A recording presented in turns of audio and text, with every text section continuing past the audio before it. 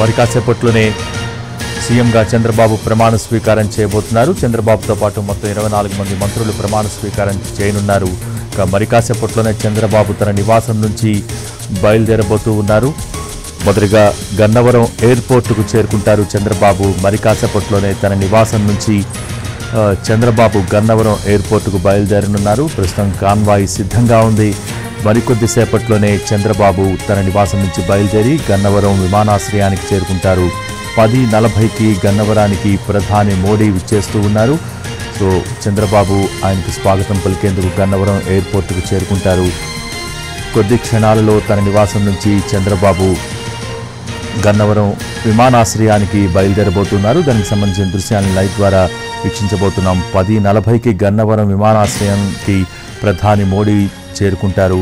ఈరోజు ఉదయం పదకొండు గంటల ఇరవై ఏడు నిమిషాలకు జరిగే చంద్రబాబు ప్రమాణ స్వీకార కార్యక్రమంలో ప్రధాని కూడా పాల్గొంటూ ఉన్నారు. కాబట్టి ప్రస్తుతం ప్రధానికి స్వాగతం పలికేందుకు చంద్రబాబు గన్నవరం విమానాశ్రయానికి బయలుదేరుతూ ఉన్నారు. దానికి సంబంధించిన దృశ్యాలను మనం లైవ్ ద్వారా వీక్షిస్తూ ఉన్నాం.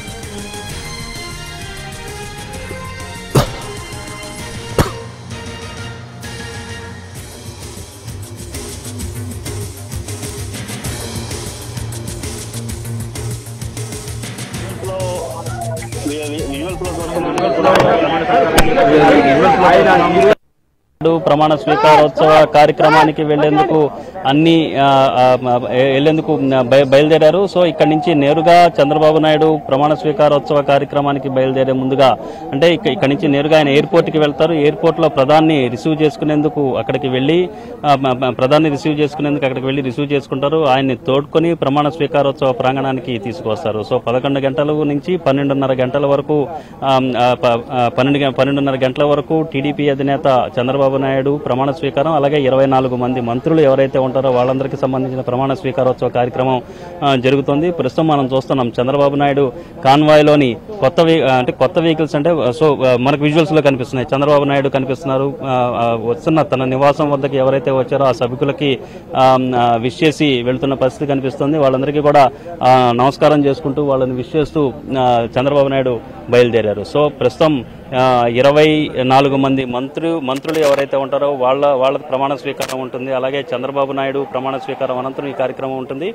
సో ఈ మొత్తం ఇరవై నాలుగు మంది మంత్రులు ఒక్క స్థానాన్ని మాత్రమే మిగిల్చిన పరిస్థితి కనిపిస్తోంది. మరి కాసేపట్లో చంద్రబాబు నాయుడు గన్నవరం ఎయిర్పోర్ట్కి చేరుకోబోతున్నారు. ప్రధాని రిసీవ్ చేసుకుంటారు. అక్కడి నుంచి నేరుగా ప్ర- ప్రమాణ స్వీకారోత్సవ ప్రాంగణానికి వెళ్ళి అక్కడ ప్రమాణ స్వీకారోత్సవ కార్యక్రమం ముగిసిన తర్వాత మళ్ళీ గన్నవరం ఎయిర్పోర్ట్కి వెళ్ళి చంద్రబాబు చంద్రబాబు నాయుడు ప్రధానికి వీడ్కోలు తెలుపుతారు. చంద్రబాబుతో పాటుగా ప్రధాని రిసీవ్ చేసుకునే సందర్భంలో కావచ్చు ప్రధానిని ప్రధానికి సెండ్ ఆఫ్ ఇచ్చే సందర్భంలో కావచ్చు చంద్రబాబుతో పాటు పవన్ కళ్యాణ్ కూడా ఉంటారు.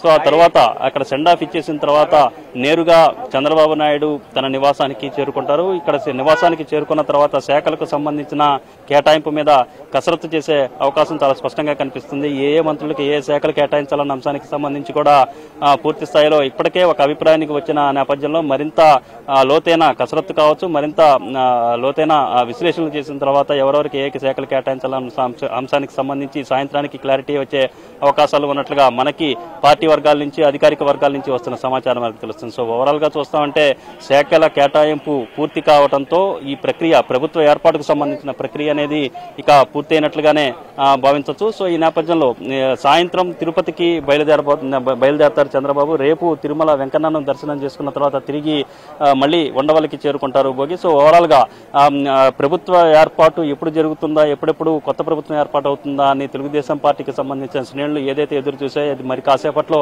చంద్రబాబు అను నేను అనే ప్రమాణ స్వీకారోత్సవం కార్యక్రమం జరగబోతోంది. సో దానికి పెద్ద ఎత్తున ఇప్పటికే అన్ని రకాల ఏర్పాట్లు చేశారు. పూర్తి స్థాయిలో తెలుగుదేశం పార్టీకి సంబంధించిన శ్రేణులు అన్నింటినీ కూడా రాష్ట్ర వ్యాప్తంగా పెద్ద ఎత్తున తరలి వచ్చే తరలి వచ్చేలాగా అన్ని రకాల ఏర్పాట్లు. వచ్చిన వాళ్ళకి ఎటువంటి ఇబ్బంది కలగకుండా ప్రధానంగా వీఐపీలు ప్రధానితో సహా మొత్తం ముప్పై ఆరు మంది ఎవరైతే ఉంటారో వాళ్ళందరికీ ఎటువంటి అసౌకర్యం కలగకుండా సెక్యూరిటీ బ్రీచ్ లేకుండా అన్ని రకాల చర్యలు తీసుకున్న పరిస్థితి కనిపిస్తున్న నేపథ్యంలో కొద్దిసేపటి క్రితమే టీడీపీ అధినేత చంద్రబాబు నాయుడు ఇక్కడి నుంచి బయలుదేరారు. ప్రమాణ స్వీకారోత్సవ కార్యక్రమానికి గన్నవరం ఎయిర్పోర్ట్కి వెళ్ళి ప్రధానిని రిసీవ్ చేసుకునేందుకు బయలుదేరారు. అక్కడ పవన్ కళ్యాణ్తో కలిసి ప్రధాని రిసీవ్ చేసుకుని ప్రమాణ స్వీకారోత్సవ ప్రాంగణానికి చేరుకుంటారు.